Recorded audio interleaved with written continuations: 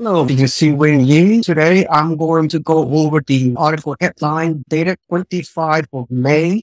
Housing market update. Mortgage rates surge past 70.1% for the first time since the November of 2022. Some buyers back off while others lower budget. We're continuing to see record breaking up and down for the housing market. That's what we are facing whole bunch of volatility, historic highs, historic low, record breaking this, record breaking that. I know it's not all negative news. It all depends how you look at things. As a consumer, as an investor, as a home buyer, have the opportunity to decide whether you want to win in this housing market or you're going to bury your head in sand and lose in this housing market. So you have control. You can dictate your destiny and your narrative with respect to the housing market changes. Uh, but again, monthly housing payments hit a new record high this week as mortgage rates jump, pricing out many home buyers, especially those with limited budgets. But Redfin agents report that many serious buyers are used to high rates and remain in the market. It tells you that after uh, nine months or so, this past nine months of, of the psychological taking over the high interest rate, that occur in, in the second quarter of 2022. When you have rates of 3.5%, which moved all the way up to 7.3% in last October 2022. And now we are, we've been going through the uh, mix, the rates are going back to the mid sixes in the past few months of this year. Now we're back up to 7.1%, going over the 7% rate. This was a psychological, another psychological triggering of the brain. However, because a lot of buyers, they are still very committed. They are getting used to the six to seven percent interest rate. They are still more motivated buyers, qualified buyers than there are supply of inventory available. So therefore, this core group of buyers, they are not going to get swayed by the daily uh, mortgage rate volatility. They are pushing forward they are intent to get their home come hell in high water. They do not care. They're not going to lose in this housing market because they see the value of home ownership. They see the value of staying at home for the next seven to 10 years. Historically speaking, when you on to a house long term, seven to 10 years or more, housing prices always go most other people, they are paralyzed by the short-term volatility. They're paralyzed by fear. They are frozen. The average mortgage payment recently has hit a record high of $2,614 based on the median price of a home, about $400,000. But this number is based on a 6.5% mortgage rate.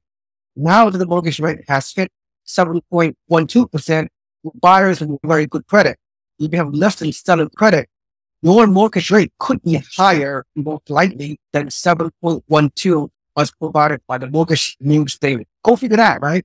So this 2614 monthly will be a little bit higher based on a higher mortgage rate. Therefore, this average mortgage payment will continue to see a record high as long as we are seeing houses buying go up and up on a consistent basis, as long as the housing prices continue to go as long as the low historic low inventory are still occurring, as long as the mortgage rate remains at mid sixes to seven or a little bit higher than seven percent, we will see continuing average monthly mortgage payment will see the word record high, record high, record high for the foreseeable future. We all agree that the rate increase has dampened home buy demand. That is true. Pending homes has dropped 17.4% nationwide from a year ago on the week ending May 21st. Of course, mortgage payment application obviously is going to drop and decline at least this past week for 4%.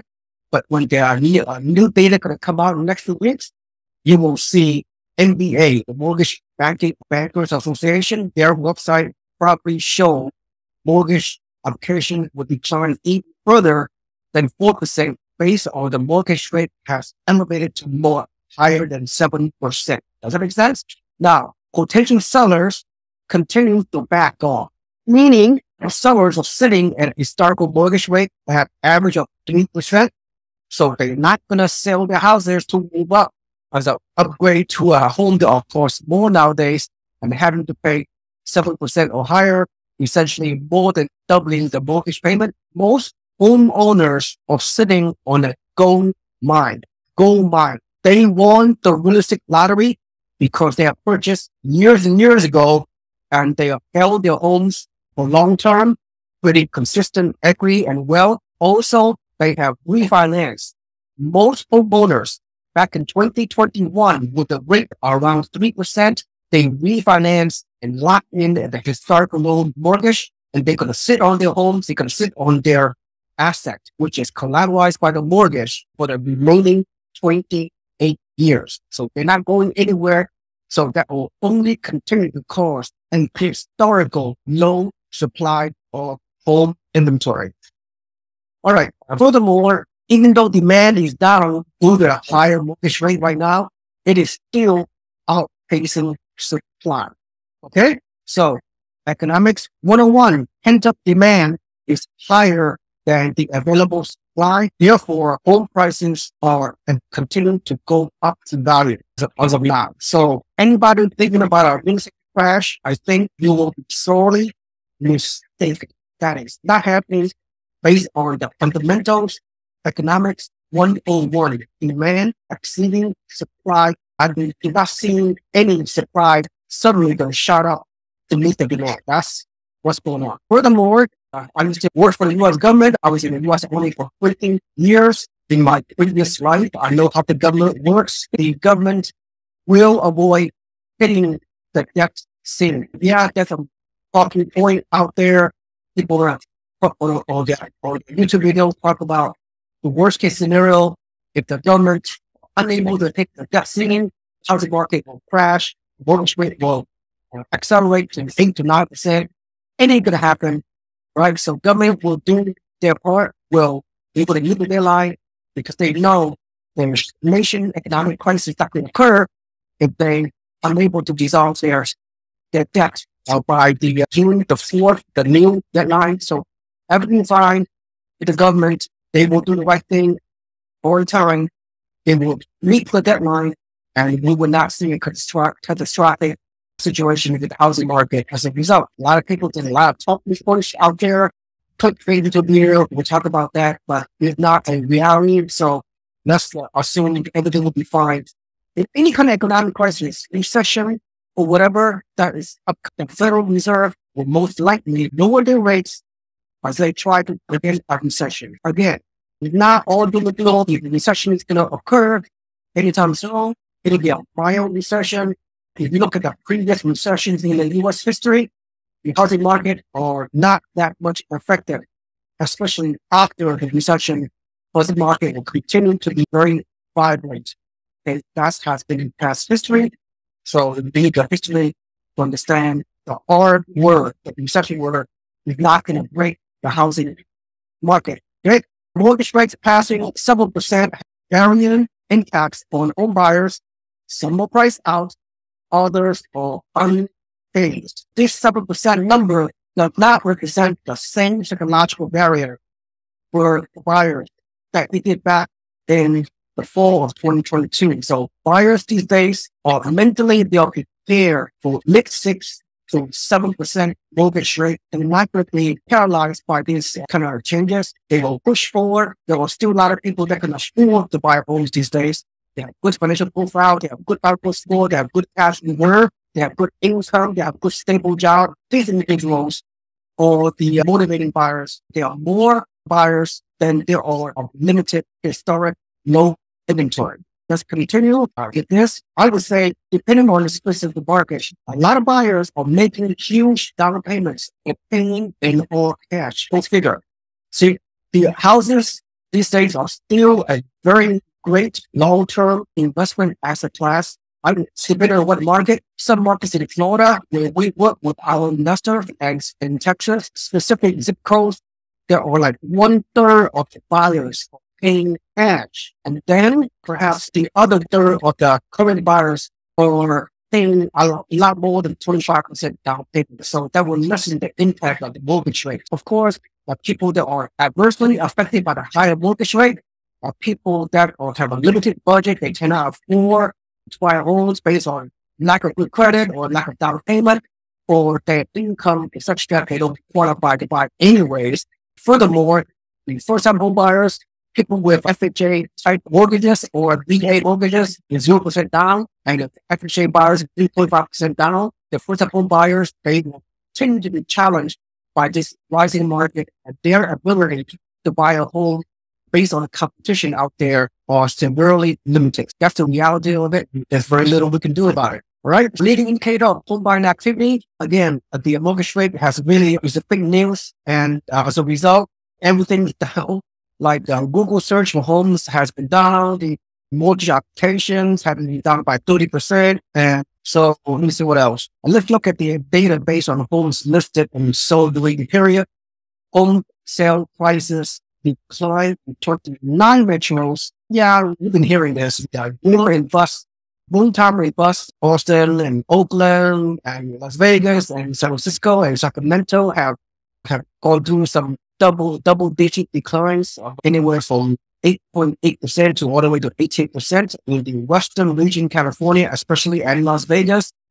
Uh, we've been uh, getting this kind of data. On the other hand, there are many locations in other part of the country, which Redfin or any mainstream media does not talk about. Many areas in Midwest and South and Southeast, the housing market is robust. The housing prices are increasing, but these are the market where home prices are low. They're doing well. They are increasing in prices. But again, the Midwest and the South and Southeast markets are not trophy markets as by any means, and they're not excited to talk about the news media. It's all about clickbait. It's all about negative news. They love to report all the doom and gloom scenario, the world coming into an end, the world is melting. That's how they get their clicks and subscribers and what have you. Pending sales has been down. Pending home sales, not home price declines. Pending home, which is very different in case you do not know by now they were down by 17.4% year over year. And home sales fell home metros everywhere in the US.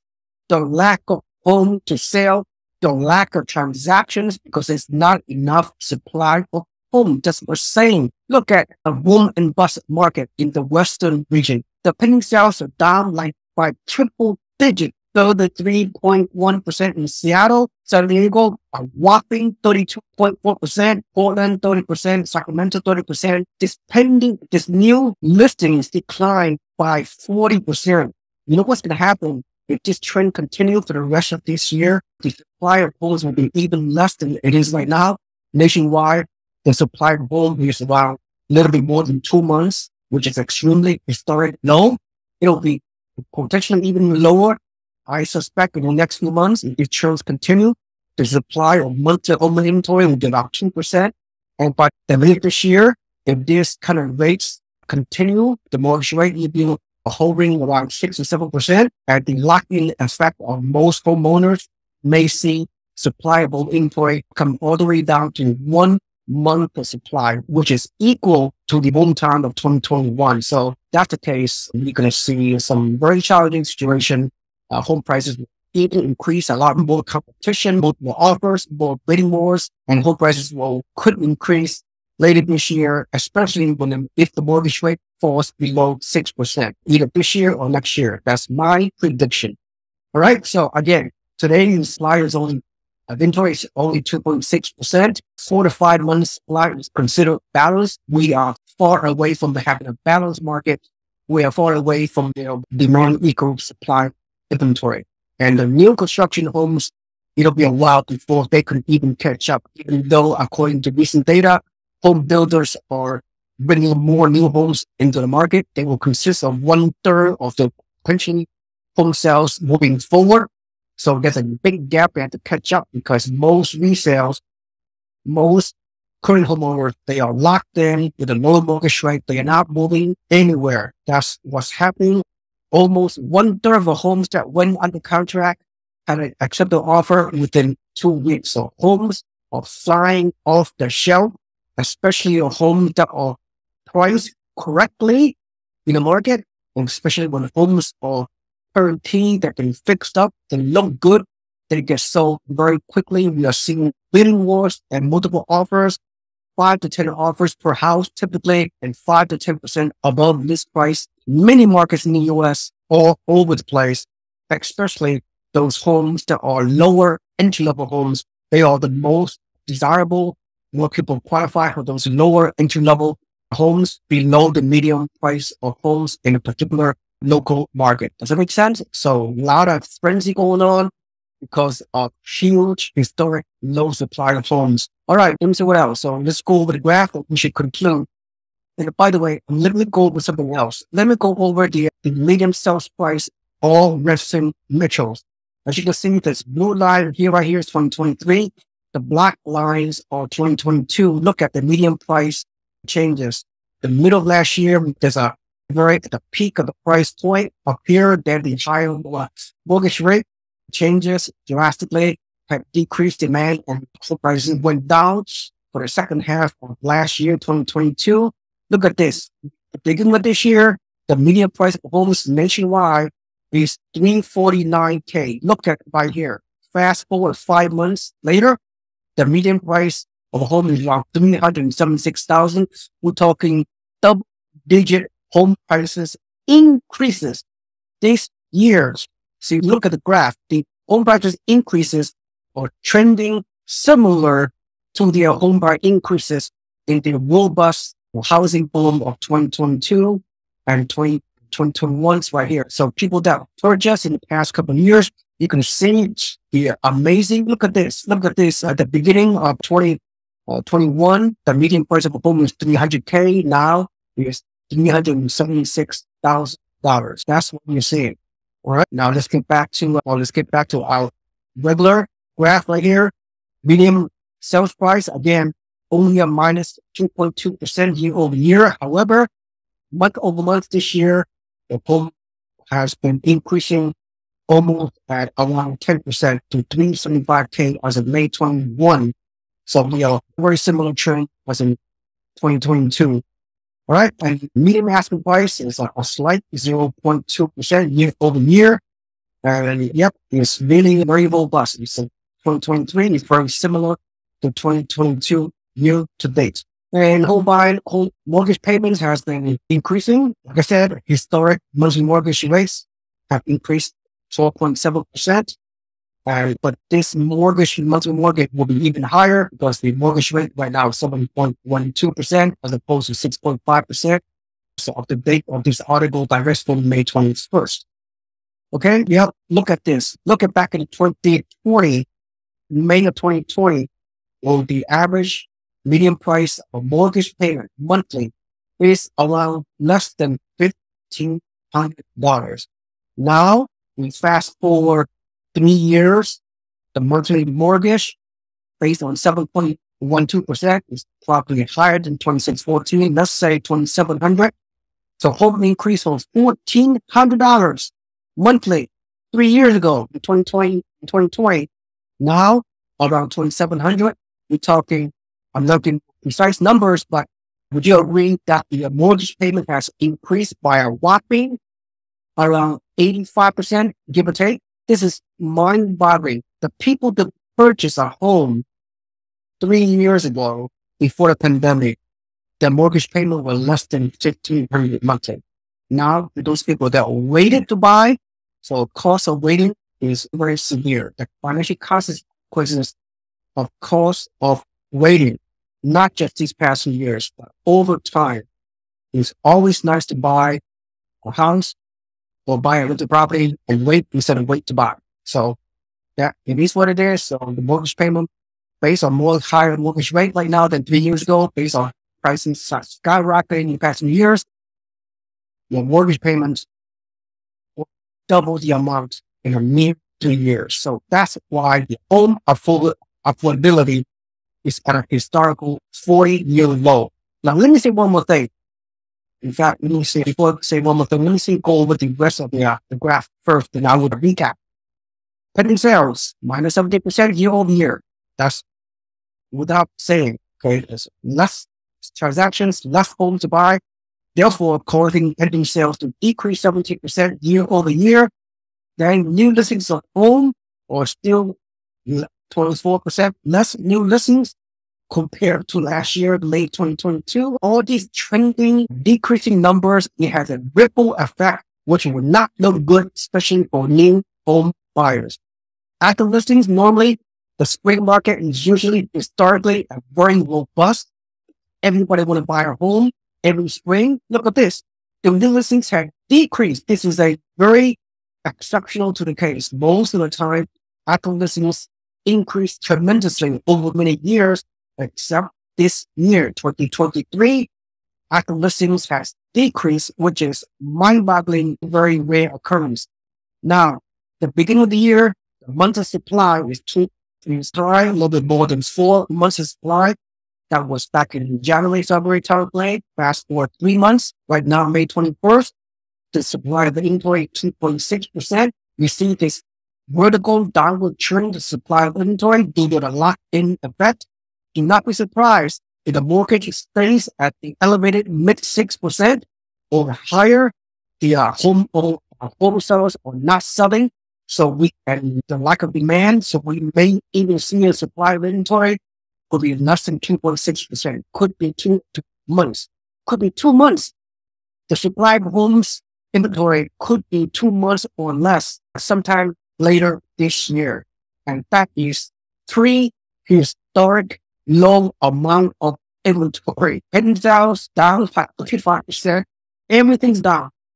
Home sale is t- has taken 30 days to, to sell home, which is very quick, much faster than during the pre-pandemic. So, uh, one third of the homes that are sold, they're sold above final list price.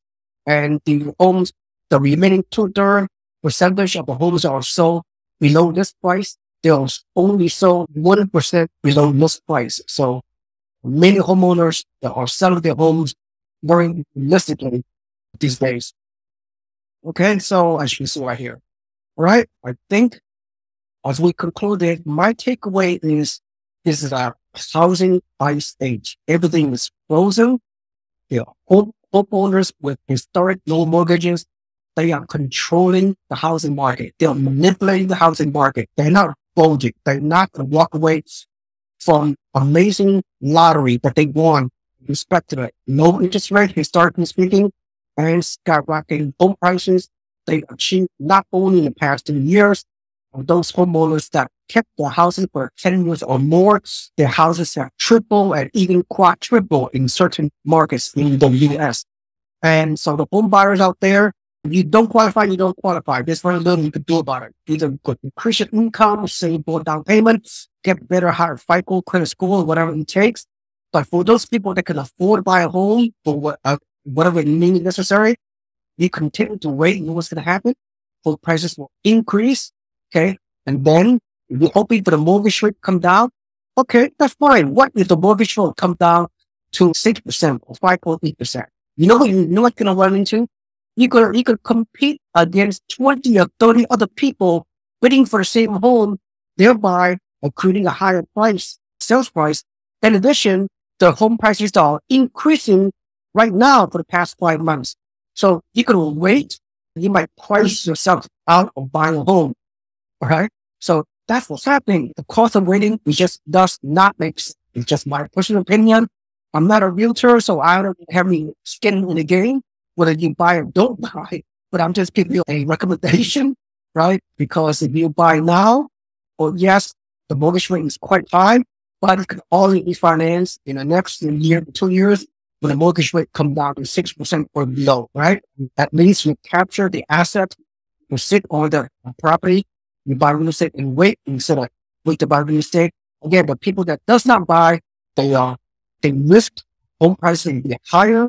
Like we may not qualify for the higher book prices a year from now, two years from now, or even if mortgage rate come down, you could be, uh, people, the buying expenses will occur all over again. You could see big wars because the demand of homes will be a lot higher than the limited amount of supply. The more competition, the more demand with a limited supply, prices will continue to rise. So that's the facts, and you have to make those very important decisions. So having said that, so if you see a lot of value from this video, please smash the like button and also subscribe to my YouTube channel. I do need a lot more subscribers. And reason why, because I don't do clickbait. I don't have these, this uh, misleading negative uh, headlines, the world coming to a gloom and gloom, whatever. I just report very authentic data based on nation uh, research, based on my 30 years of real estate investing experience. So that said, please quickly visit our website below, drop your email into the form to subscribe to my weekly turnkey university investor newsletter. Once you join our free network, you will receive weekly market updates, market opportunities, real estate education, interview with top industry leaders straight into your inbox that you just won't find anywhere else. We help investors, mom and pop investors, beginning investors, even though they have very little experience, regardless of where you live, we invest other state properties, turnkey properties. This is our specialty within our network. We connect you with experienced real estate agents and experts in the local market. We have books on the ground in those hardest markets throughout the country, regardless of where you live. So you can invest remotely, passively in profitable cash flow properties. That's what we do best for entry level homes, anywhere from $100,000, $200,000 entry level home, new builds and resales, off markets. Put 20 to 25% down payment, even with a mortgage rate for an investor around 7% or higher, you can still achieve monthly positive cash flow as a benchmark to push forward and invest for long term. Thank you so much for listening. This is Seewing Yee. I will see you on the next video show. Have a nice day. Bye bye.